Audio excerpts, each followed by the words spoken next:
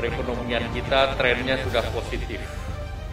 Artinya kita sudah melewati rock bottom di kuartal kedua kemarin minus 5,32 dan di kuartal ketiga ini kita sudah mencapai tren positif di minus 3,49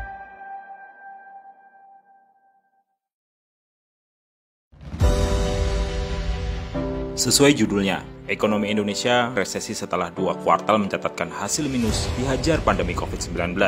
Wex, tenang dulu, tarik nafas, keluarkan pelan-pelan.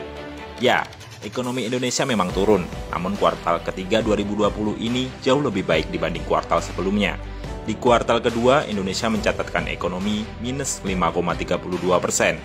Di kuartal ketiga, Oktober ini jauh lebih baik, yaitu sekitar minus 3 persen.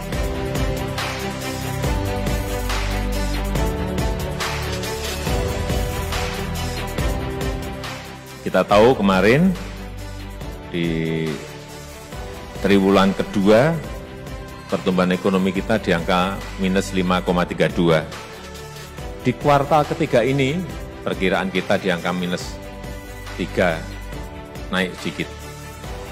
Dan ini memang kalau dibandingkan negara lain ya masih jauh lebih baik. Tapi ini patut kita berikan tekanan untuk yang kuartal keempat. Kuartal keempat ini sangat penting sekali agar bisa memperbaiki lagi, syukur bisa masuk ke positif kuartal yang keempat. Sehingga belanja, spending harus menjadi kejar-kejaran kita semuanya. Sedangkan dari data IMF, diprediksi Indonesia akan menutup 2020 dengan ekonomi minus 1,5 dan yang bikin kita sangat tenang, pencapaian itu jauh lebih baik ketimbang negara tetangga seperti Malaysia yang diprediksi turun minus 6, Thailand minus 7,1, Filipina minus 8,3, bahkan dibanding negara maju seperti Australia minus 4,2, Rusia minus 4,1, Kanada minus 7,1, dan Amerika Serikat minus 4,3.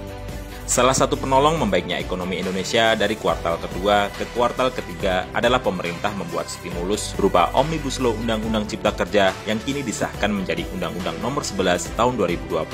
Undang-Undang Nomor 11 Tahun 2020 berhasil merubah pandangan investor yang sebelumnya ragu membawa dolar mereka ke Indonesia, kini berbondong-bondong menuju Indonesia dan multi efeknya adalah penciptaan lapangan pekerjaan sebanyak mungkin sejalan dengan pemulihan ekonomi negara selama dan setelah pandemi COVID-19. Selain Omnibus Law, hal lain yang berperan penting adalah berputarnya roda perekonomian di masyarakat. Usaha mikro kecil menengah atau UMKM menjadi ujung tombaknya. Karena ekonomi Indonesia banyak bertumbuh pada pasar nasional, UMKM punya andil besar. Meski di tengah pandemi, UMKM mampu bertahan. Selain itu, ada pula stimulan berupa bantuan dari pemerintah yang turut menaikkan daya beli masyarakat, sehingga tadi rupiah dapat tetap berputar dan perekonomian berjalan.